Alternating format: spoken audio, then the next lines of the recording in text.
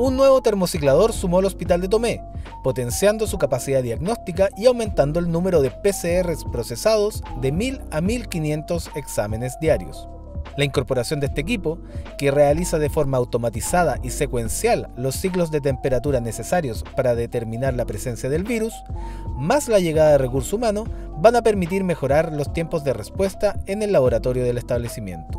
Este equipo eh, tiene los tiempos de amplificación son largos, va a depender dependiendo de nuestro reactivo, pero mínimo nos va a tomar alrededor de una hora. Por lo tanto, antes igual nos tomaba más tiempo, pero ahora contamos con dos termocicladores, los cuales nos reducen ya los tiempos de respuesta para todas nuestras PCR. Incorporamos equipamiento y partimos nosotros con 400 muestras APP diarias. Hoy día estamos cercanas a las 1500, dado todos los esfuerzos que ha hecho el servicio, la autoridad sanitaria, el ministerio nos ha apoyado y el hospital, por supuesto. Tenemos eh, además no solo equipamiento eh, que está a disposición de, de los exámenes, sino que también eh, tenemos recursos humanos. Nosotros tenemos equipos 24/7 y en la semana de lunes a viernes reforzado con el, con el personal para, para resolver.